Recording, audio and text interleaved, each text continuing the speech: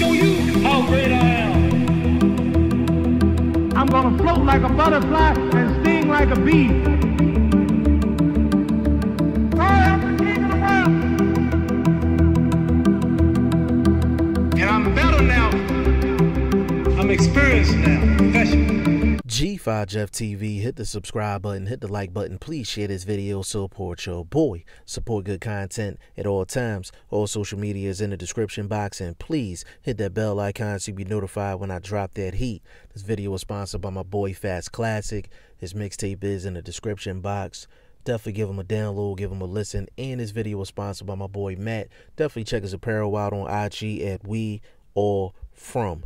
Now, the rumors is flying around Keith Thurman versus Adrien the Problem Broner.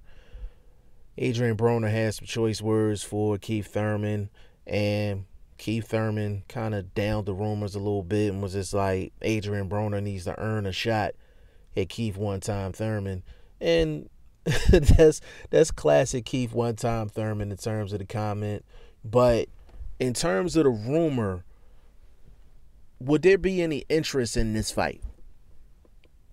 In terms of name recognition, absolutely. Absolutely. Keith Thurman versus Adrien the Problem Broner, like, that's a good fight. That's a good fight. Adrien Broner has not proven that he can beat a top tier guy in his career. That's no knock against AB. I'm an AB fan, but facts are facts at the end of the day. His best victory of his career is Paulie Malignaggi and probably from round four to round eight against Chino Maidana. That's the best that Adrien Broner has done in his career. Now, Keith Thurman is definitely a top tier guy. Um, he should be in everybody's top three in terms of welterweights. Uh, before the injury started, a lot of people felt like Keith Thurman was the best welterweight in the world. And the thing that's funny is when you think of Adrien Broner, you would think, okay, well, there's no way he's going to beat a Keith Thurman. But if the Keith Thurman that fought Josesito Lopez shows up in the ring with Adrien Broner, Adrien Broner got a shot. you know what I'm saying? Adrien Broner would definitely have a shot if that same Keith Thurman showed up um, against Josesito Lopez. Now, the interesting thing about this rumor is let's just say, for instance, this fight comes to fruition. I mean, Adrien Broner just did 400,000 with, with Manny Pacquiao on pay per view.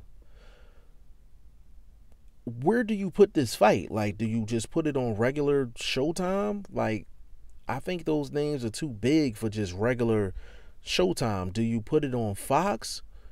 You could put it on Fox, but I mean, you would have to censor Adrien Broner like crazy. Like, I mean, he he don't know what to say out of his mouth.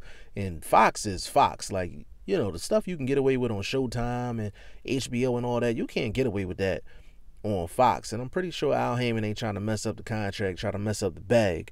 So I don't know if you put Adrien Broner on Fox. He might be too, you know, he might be too rated R for for Fox. But at the same time, neither one of these guys are really hot right now in terms of like fighting, like being on a hot streak or people really checking for them.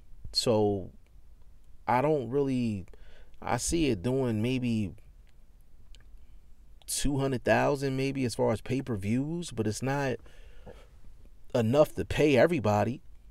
So I I I, don't know about this one. I, I don't know. I think I think it's a good fight. I just I think it's a bad time though. I think it's a bad time for this fight.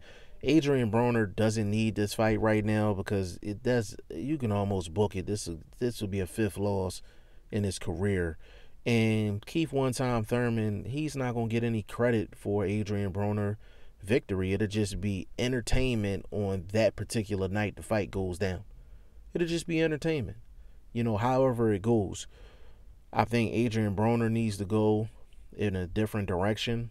I think Adrien Broner needs to take a fight that he can actually win. You know, a guy that's a B minus C level guy, and he needs to at least get one victory uh, prior to him getting mentioned again with any Keith Thurman's, Danny Garcia's, Errol Spence's, things of that nature. But the thing that's crazy, Adrien Broner was supposed to win that fight against Jesse Vargas. That wasn't supposed to be no draw. That wasn't supposed to be a highly competitive fight. Like Adrien Broner was supposed to win that fight. That was a setup fight for Adrien Broner, and he just couldn't pull it out. So I don't know who Adrien Broner should fight next, but it should be a B minus C level guy. Give him the best opportunity to get a victory. Now, of course, with Chino Maidana coming back, everybody like, oh well, you know, uh, Adrien Broner, Chino Maidana rematch. Man, ain't nobody trying to see that shit.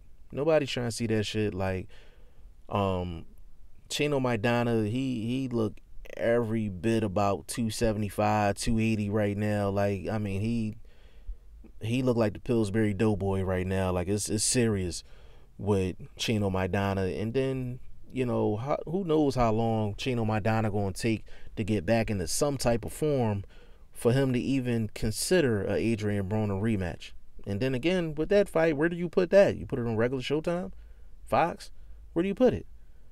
You understand what I'm saying? So um, I don't know what's next for Adrien Broner. And then Keith Thurman. Keith Thurman just needs to take another fight. He needs to take another fight. He needs to fight more than once a year. He's not good enough to fight once a year and just come back and just look spectacular. He's not Floyd.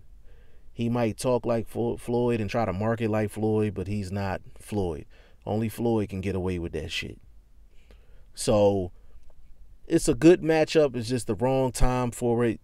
Um, y'all let me know what y'all think in the comment section. G5 Jeff TV, hit the subscribe button, hit the like button. Please share this video, support your boy. Support good content at all times. I appreciate y'all. Peace.